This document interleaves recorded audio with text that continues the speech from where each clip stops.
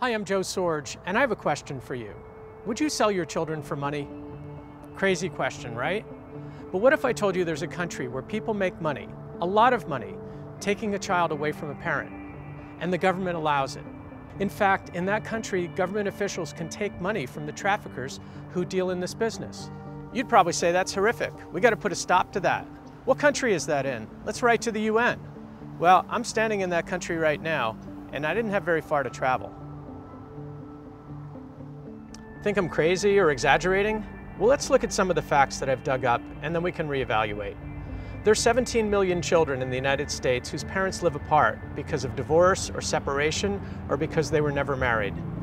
We have the highest percentage of children living in single parent households in the developed world, nearly 3 out of 10 households.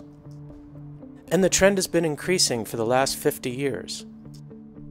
You might ask, how did it get this way? What is it about the United States that causes it to lead the developed world in single parent households? Let's take a look at some history. 50 years ago, women rarely worked outside the home, and their primary role was to raise children. If a couple divorced, it was just assumed that the man would find a new wife, the woman would find a new husband, the new husband would adopt the children, and then both families would begin to have more children.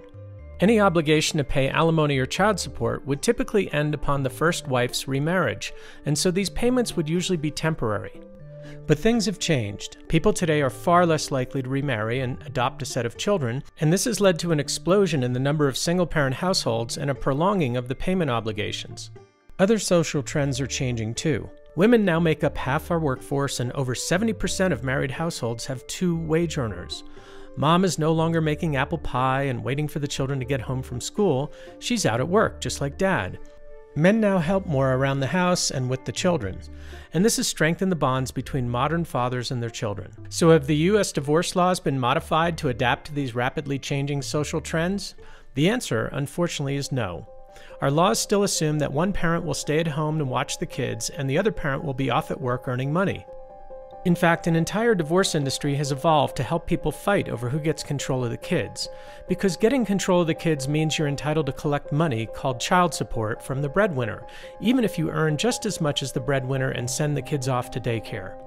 Our family courts spend countless resources choosing a primary parent, and our federal laws and regulations concerning child support and custody are riddled with the terms custodial parent, code for homemaker, and non custodial parent, code for breadwinner.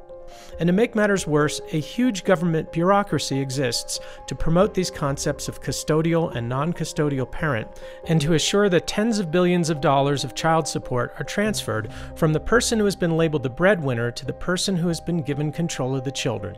The result is that we have a $50 billion a year government industrial enterprise whose primary mission is to take children away from one parent and give them to the other parent. Because if they don't follow the federal rules about putting the children under the control of just one of the parents, the states lose billions of dollars coming from Washington, and the attorneys lose a lucrative business. And that's why we lead the world in single parent households money. Worse yet, the federal government has thrown gasoline on the fire by penalizing the states if they don't collect more and more money each year from the non custodial parents. Federal dollars are tied to so called child support enforcement performance measures, so the states have been acting like hungry wolves in search of prey. I know, I'm still sounding crazy, but let's roll back the clock a little bit and see if we can make some sense of this. Laws were passed in the 1970s and 1980s to deal with what, at the time, was called the deadbeat dad problem. In poor communities where families collected welfare, it was particularly difficult for single dads to earn enough to support two households after a breakup. If their wives had left them, these marginalized men would often vanish, leaving the taxpayer to support the family. Given the huge rise in no fault divorces, this didn't sit well with the taxpayers, and they demanded a solution. So in 1975, the federal government created the Office of Child Support Enforcement and passed laws under Title IV-D of the Social Security Act. Under this program, the federal government would grant states $2 for every $1 the state spent to collect child support from dads whose families were receiving welfare. By 1979, the taxpayers were actually benefiting from this program. The feds in the state spent about 200 million a year to administer the program and collected 700 million from the dads. So the taxpayers recovered about a half a billion dollars. Not bad. A good deal for the taxpayers and for the families. In fact, the program became so popular that politicians jumped on the bandwagon and decided to expand its scope to the middle class. Admittedly, many non welfare fathers were not paying all of their child support in the 1980s. 38% of the awarded money was not being collected, and it was just assumed that even middle class dads were shirking their obligations. And so the federal government began to grant the states additional bonus payments for increasing child support collections, above and beyond the two for one matching funds. But here the federal government made a tactical error. Instead of incentivizing the states for every dollar of previously unpaid child support that they could collect, they incentivized the states for any dollar of child support they could collect, whether from paying parents or from deadbeats. The states quickly figured out that they could bring in more federal dollars by tapping into middle class child support payments, especially those that were being paid regularly, even without the aid of government intervention. And so they went into the business of collecting middle class child support with a vengeance. The state agencies hired tens of thousands of collectors. They went from spending about $200 million per year to about $6 billion per year. But shockingly, even though they spent huge amounts to collect child support from the middle class and started to lose billions of dollars of taxpayer money in the process, their efforts didn't make a real difference. 38% of child support still went unpaid. How could that be? Spending all that additional money? Yet the average proportion of unpaid child support remained the same, at 38%.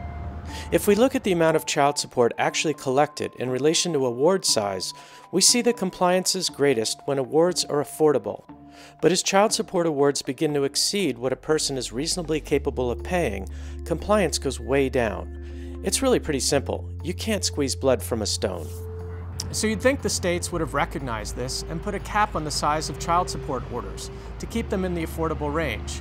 But instead, they decided the best way to handle this would be to throw the payers who had fallen behind in a debtor's prison. You heard me correctly. I'm not making this up. We still put tens of thousands of people in prison for falling behind on their child support payments, even people who earn less after taxes than the amount of their child support orders. And not only did we take away their ability to earn a living by locking them up, we also take away their driver's licenses and professional licenses and make it so that they can't see their children. Here's a piece of an interview that I did with Charles Lohr, an ex deputy sheriff with a spotless track record. He lost his job because he was thrown into debtor's prison after he was ordered to pay more than he earned. They they order you to pay more money than you make. They say that you can't if you can't pay it, they're going to throw you in jail. And then when they have you in jail, they take away your driver's license. So when you do get out of jail, you're breaking the law if you drive to go find work. At that point, I had been in jail 10 months, five days, not charged with a crime, and not given a release date. The system, in my case, has set me up to fail. I, I look at it as they, they figuratively speaking, they, they cut off your legs and expect you to run a marathon. Sound counterproductive? Sound destructive? Is there a better way? As many of you know, I've interviewed lawmakers from other countries to find out how they handle these issues. Here's a response from a senior member of the Danish parliament when asked how they handle the situation when someone falls behind on child support payments. If the, one of the parents doesn't fulfill the payments uh, for the child support, then uh, of course that can also be enforced by the authorities and uh, it can be taken directly from this person's salary just as you take the taxes. We don't have a situation that is similar to the United States. Uh, uh, we can't take people's uh, driving license or professional licenses. We can't take people to jail. We don't have a debtor's uh, prison in, in, in, Denmark, so we can't use the, that kind of an instrument in order to enforce the payments. In the meantime, back in the United States, research data shows that imprisonment of child support providers significantly reduces the amount of child support paid as if that should not have been obvious to anyone with a pulse. Fortunately, some of the more rational minds at the U.S. Office of Child Support Enforcement have recognized that we have a problem a proposal has been floated to amend the Title IV-D regulations so that the states will have less of an incentive to overburden one parent with an unreasonable child support order. We've examined the new language and think that it's a baby step in the right direction, but it does nothing to take the dollar sign off the backs of children. Why not fix the problem entirely while we have a chance? Let's tell Washington what we think. We need a lot of people to write in to get their attention, so please help. If you click here, it takes you to our web page, which makes it easy to send the message to Washington. Or if you like details, continue to watch this video for more specifics. This is what our federal government proposes, and these are the revisions that we think make sense. The government wants to continue calling one of the two parents a non custodial parent and continue to place the entire financial burden on that parent. We think that's a bad idea. It essentially means that there will continue to be a senior parent, the homemaker or custodial parent, and a junior parent, the breadwinner or non custodial parent. We should erase this 1950s concept from our laws while we have a chance, because it no longer reflects modern society where 70% of families have two wage earners. Plus, most modern research shows that children do better when they interact with both parents. It also shows that parents are less likely to be deadbeats when both parents can spend significant time with their children. So we propose getting rid of the antiquated custodial and non-custodial concepts, and given the prevalence of two-earner households, we think both parents' incomes should be factored in when computing child support. We also think it's important to define income. Give the lawyers a vague definition and they'll fight over its meaning. Let's make the meaning of income clear. Absent outright tax fraud, it should be what each parent reports on his or her tax returns. This next change is going to be a big one, so I want to make it clear it's not intended to be retroactive. If you already have children, this change is not going to affect you. Our research shows that far too many custody battles are about money. We want to take children out of the middle of a financial battle between the parents. We want to take the dollar sign off the backs of the children. They don't deserve to be the collateral damage of a financial tug of war. Recent research from the National Institutes of Health has shown that the mere establishment of a court order for child support is correlated with problem behavior in children. Therefore, we're proposing that child support be based on the cost of raising children and not on the concept of alimony. If the parents want to battle over alimony, that should be a separate issue but there should be no hidden alimony to fight over in child support formulas. We have studied the formulas in the Scandinavian countries where they have separated the concepts of alimony and child support. Here's how they compute child support. If you earn around $60,000 a year, you pay around $200 a month. If you earn above the, let's say, 100,000, it goes up to two times the amount. And if you're above um, around $150,000 a year, it goes up to three times. And if you're above the $200, $250,000 a year, it could be four times. Even though the, the, one of the parents earn 10 millions a year, child support would never exceed around $800 a month. There's one major difference, though. The Scandinavian governments supplement daycare costs, so we propose that the U.S. child support formulas be based on the average cost of raising a child plus half the daycare costs if both parents work. We also propose that alimony be factored out of the child support formulas by tying the formulas to a more affordable percentage of income, and not to exceed the costs of raising a child. So let's sum up the rationale for our proposed changes. We believe the U.S. leads the world in single parent households because our laws financially reward the parent who files for divorce and wins custody of the children. In addition, if we follow the money, we see that the custodial parent can give some of the child support to the attorneys because the laws put no restrictions on how that money is spent. Unfortunately, these legal professionals are allowed to give money or extend offers of employment and other favors to the judges who make the custody decisions. It's no surprise then that the legal bar associations consistently lobby for single parenthood, and the reason is obvious it generates business. In its worst embodiments, our system equates to a cash for kids scheme that might be compared with child trafficking elsewhere. It's for these reasons that we are recommending our proposed changes to the federal regulations. We believe these changes are essential to taking children out of the middle of their parents' financial issues.